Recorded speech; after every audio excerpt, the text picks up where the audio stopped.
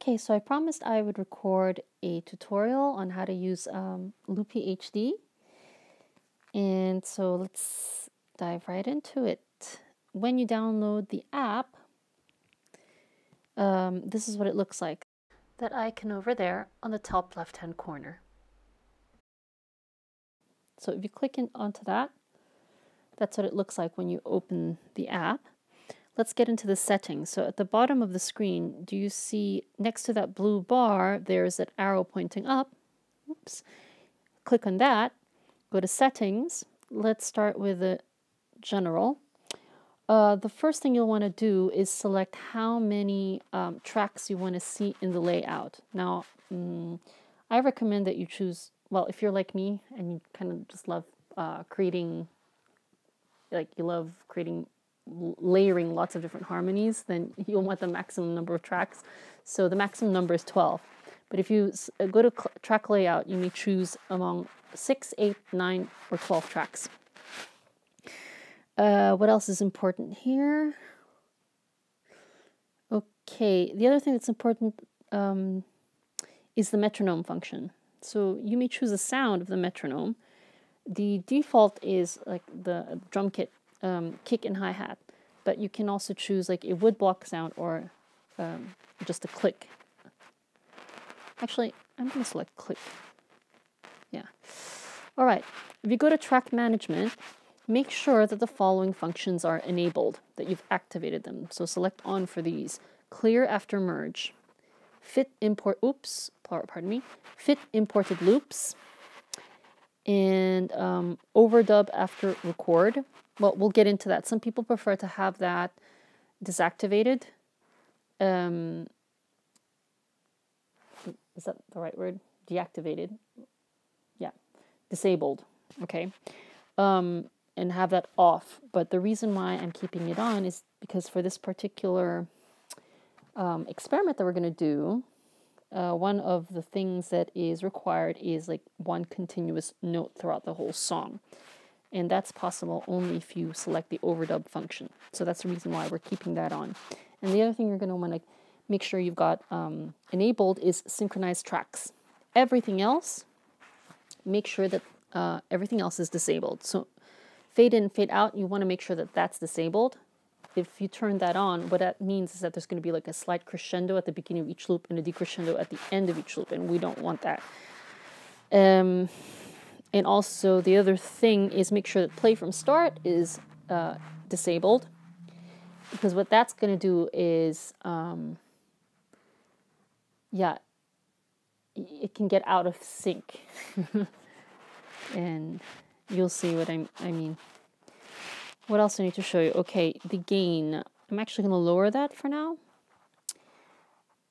Um, and I've got monitoring off but when you're using Loopy, you might find it useful to have that on. It just gets in the way of uh, recording this tutorial, which is the reason why I've selected uh, I've um, selected off for the monitor. And make sure that live input recording is on. Okay, that's basically for if you want to um, record a solo on top of the tracks that you lay down. Okay, so to start a new project, um, click on the upper right hand corner uh, on the icon that looks like a piece of paper, reset session. Let's get right into it. So you see where there's the blue bar. If you click on the right of that, that allows you to scroll through the different um, functions. The first thing we're going to want to do is set the meter. I've got it set on 3-4, but you can use the arrows to change that. Okay, so if I click on the arrow to the right, that will change it to 4, 4, but I actually would prefer to keep it on 3, 4 right now. The tap function, that allows you to set the BPM. And you can set that by just tapping the tempo that you want. So, tum, tum, tum. Okay. I think this should be good. 80. Something like 80. So we're not actually hearing anything right now because I haven't activated the metronome function yet. So I'm going to click play um, and keep scrolling till you get to this um, view over here where you see the metronome on the left and the sort of light bulb icon on the right. So what happens if you click on the metronome is that starts your um, metronome for you. You can regulate the volume of the metronome uh, by um, uh, with this like a volume control right below the metronome icon.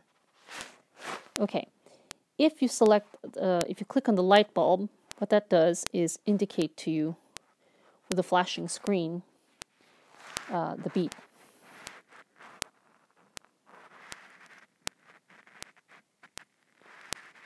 Okay, we can get started. So, let me read the challenge to you.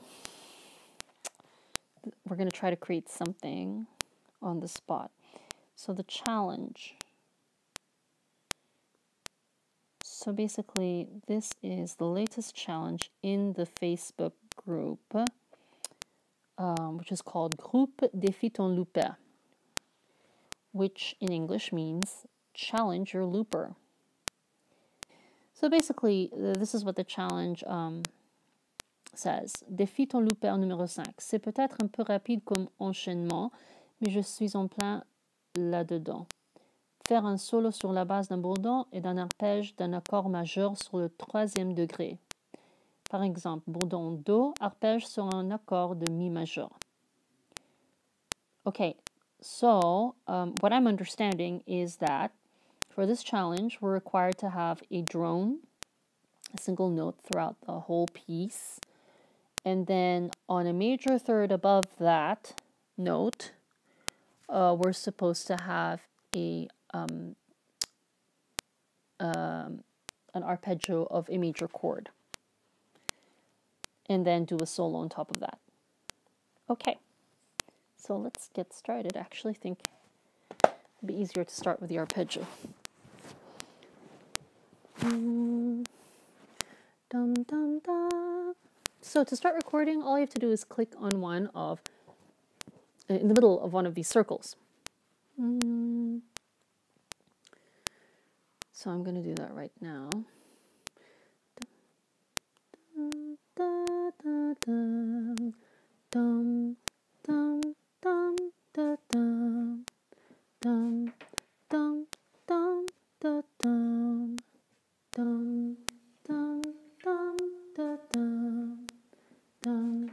So when it's orange, it means that it's still recording.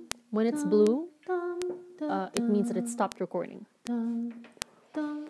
Because we've selected the overdub function, so we've activated that, uh, when you've clicked on uh, the circle once after recording, it will still be orange because when you select the overdub function, it allows you to record on top of what you've just recorded.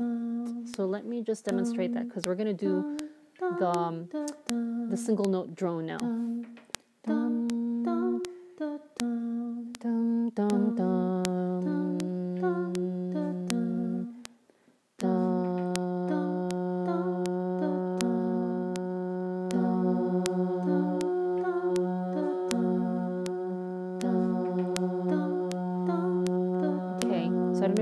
That, but I basically, oh, you couldn't see my finger, but I clicked on that once, um, and then in order to have that single continuous sound, I had to click on it again and make sure I cover the gaps. Okay? Strange harmony here. okay. And I want to add a little vocal percussion because I don't like the sound of the metronome.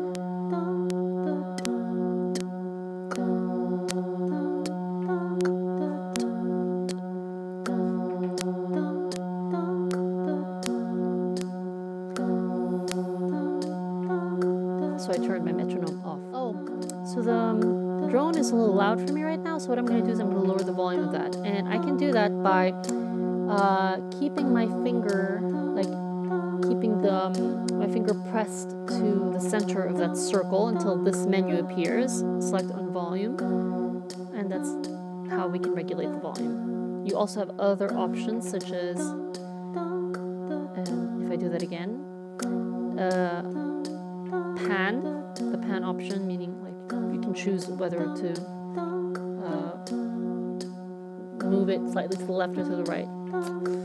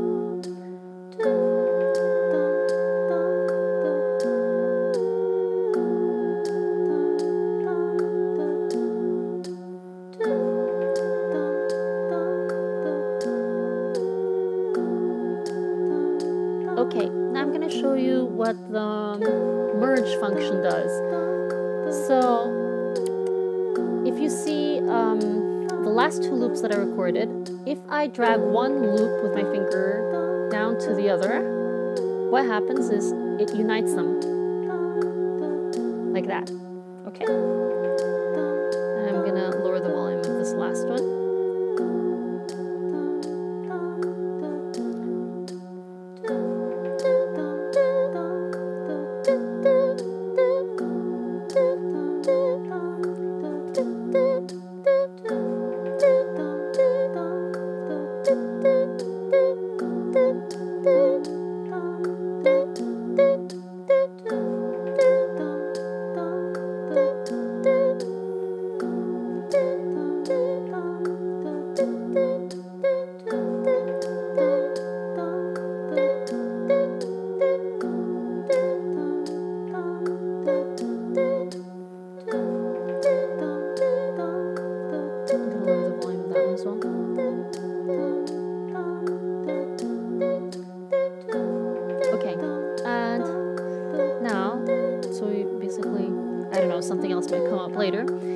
But I'm going to stop this for now and show you how to um, do recording with uh, the parts that you've just recorded and um, a solo on top. So, if you click uh, on the arrow at the bottom of the screen next to the blue bar and go to record the record button see right next to the, the paper icon on the left there's the record function